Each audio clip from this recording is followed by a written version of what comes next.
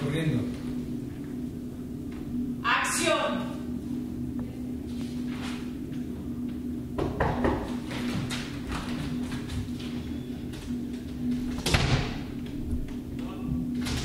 No, No, soy- no, no, no, no, no digas nada, no digas nada. Por favor, ayúdame. No digas nada. No quiero saber nada de ti. Voy a leer tu mente. Ve- veamos, tú vienes de muy lejos. Sí. No, no, no, no. Ah, Don Bus, ¿quieres que te compre una suscripción para un periódico? No. No, no, no, no, no.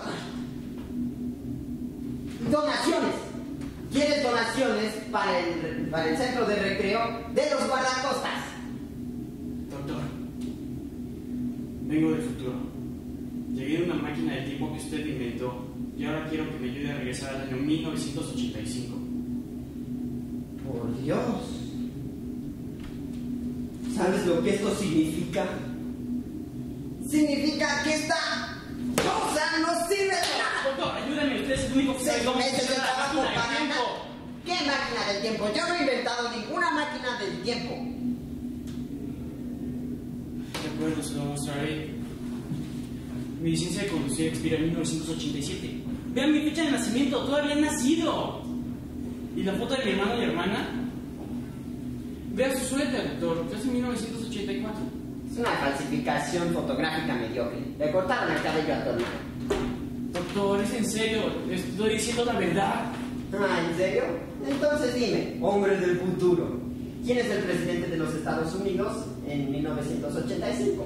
Ronald Reagan. Ronald Reagan. ¿El actor?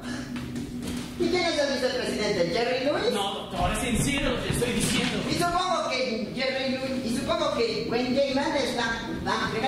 No, doctor. Y Jerry Catman es el, es el, es el ministro de, de Estado.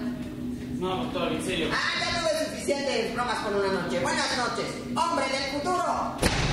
Doctor, doctor, el golpe en su cabeza, yo sé cómo le pasó, me contó toda la historia. Estaba parado en el cementerio colgando un reloj y se cayó. Se golpeó en la cabeza con el lavamanos y de ahí le llegó la idea del condensador de flujos.